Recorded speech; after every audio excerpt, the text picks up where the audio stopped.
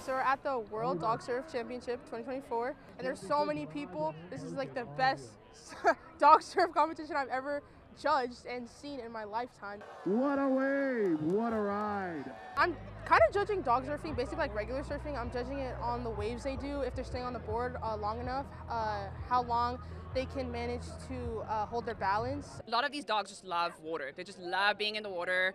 You know, you got some of the dogs, they even have their chew toys attached to the end of their boards and they'll like drag the board in the water, want to be out there. It's just it's just a lot of fun for them. And I think it's also a lot of the balancing. You know, you can see them like kind of feeling the wave. I mean, everybody loves dogs. Well, at least everybody should love dogs. And um, I think here it's just dogs doing something that's kind of quite different in a way. But also, people love the ocean. And I think when you put the two together, it's just really, really cool. So first of all, it's all, all, about safety. You know, then once you get them used to it in the pool, I believe is the is, it was our journey in the pool, and then transition to the ocean, lake, uh, towed behind the boat. So that's kind of our that was our journey. As you know, French bulldogs don't surf and or swim. They usually kind of sink.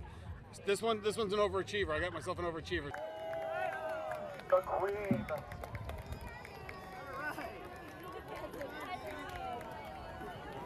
Now, go kiss all the judges. And here Come comes on. King Rusty.